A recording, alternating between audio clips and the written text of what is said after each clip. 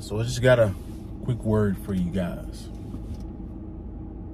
This video is inspired by the recent book I'm reading by Ray Dalio.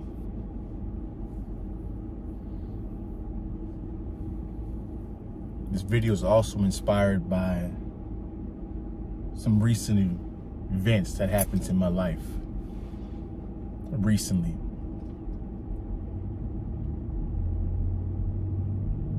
And I think it's very important for you guys to understand this concept and think about it.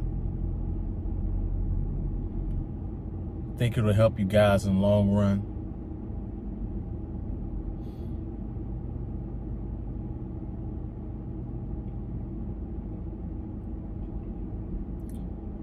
One of the biggest things that I've learned listening to this audiobook recently is that in this world, on this planet, no matter the society, see, a person is a microcosm of society. And the society is connected to the individual person.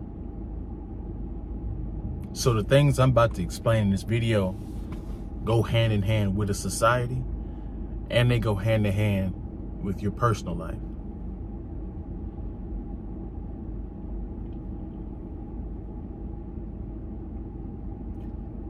There is no comfortability or security on this planet.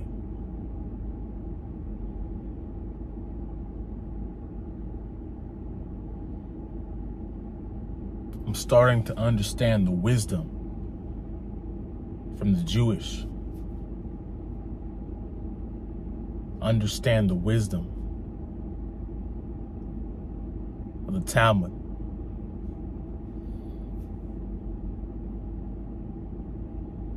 There's no such thing as retirement, security.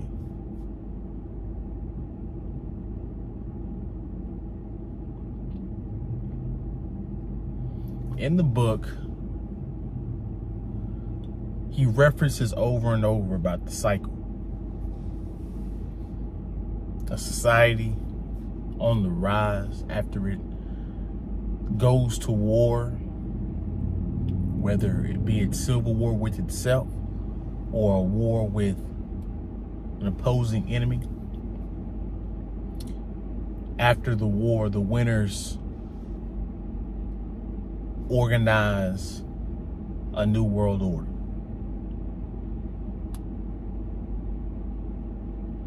And there's peace and prosperity after the war. Normally, the winners become more productive in their society. They become more innovative. They begin to become more hardworking and more educated. Literacy tends to skyrocket.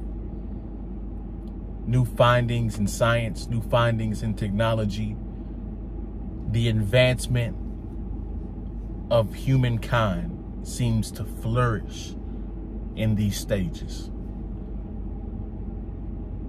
The societies built by men in these societies tend to overtake the rest of the societies throughout the world, making them the ones that establish the new world order. Just like with anything else, the cycle begins to start where things begin to end. All good things tend to come to an end. And this is where my topic comes in. Societies that are on the top usually crumble because they get comfortable They tend to indulge in pleasure. The governments tend to spend more on things that they want instead of things that they need. Ultimately, leading for the country to be in leading for the country to be overstretched financially where they can't pay their debts off. Now they're on the verge of a financial crisis. The people are unproductive, not educated.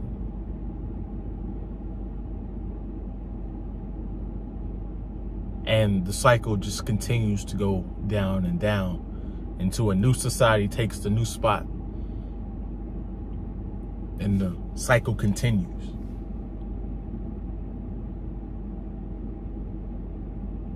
In a capitalistic society, you cannot be comfortable. You'll be working until you die.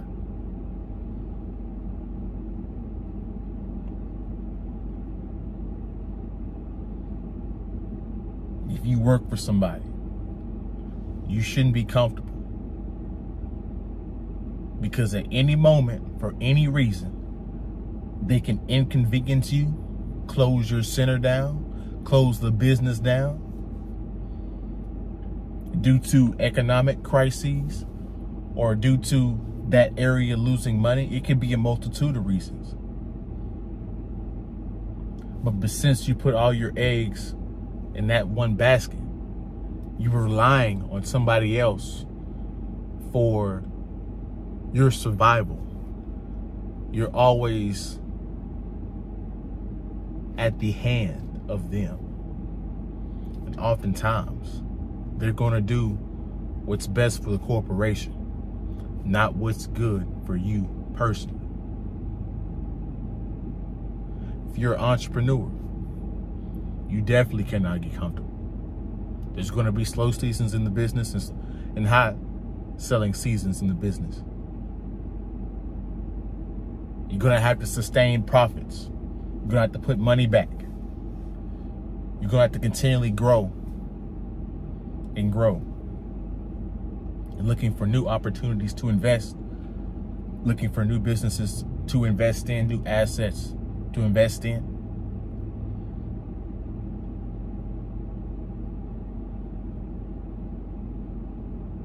The game never ends. Because the moment you get comfortable in that entrepreneurial journey, another business will buy your business or they'll outperform your business. And now you don't have a business anymore because people are going somewhere else.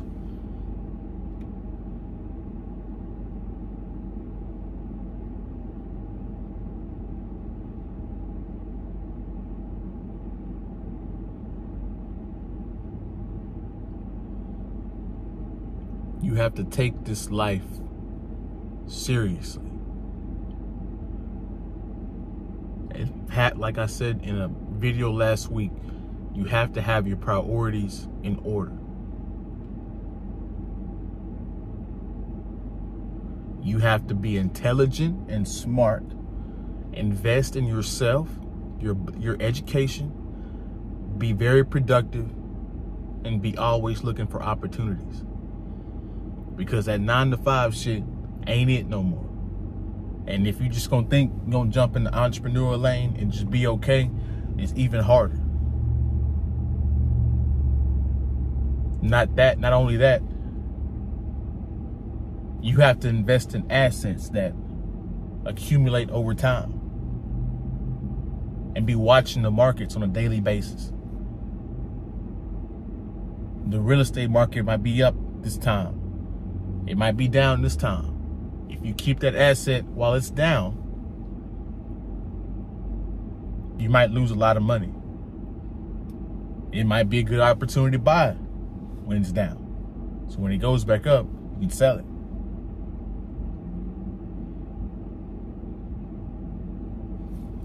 The economies are changing. New countries are coming in. New markets are coming in that you need to that you might need to get into and sell to. There's no guarantees in life. You have to be steadfast on your feet at all times. Because to be truthfully honest, at any moment, you can be done. And it usually comes when you get comfortable, when you're not on your P's and Q's, a fall is just around the corner. So that's my video. Go ahead and like, comment, subscribe. Share the video if you like the video. And we'll be back with another one. We're out.